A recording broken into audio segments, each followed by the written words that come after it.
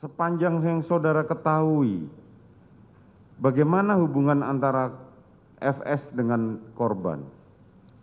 Se- Setahu saya baik yang mulia.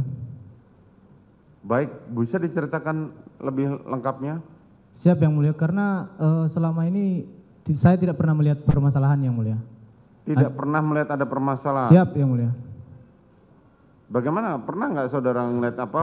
Saudara pernah kena marah sama saudara FS? Pernah yang mulia. Kenapa? Eh, biasanya di mobil yang mulia. Kenapa? Kalau ada pas di jalan terus ada motor yang mendekati ke arah mobil biasanya beliau agak marah yang mulia. Kenapa?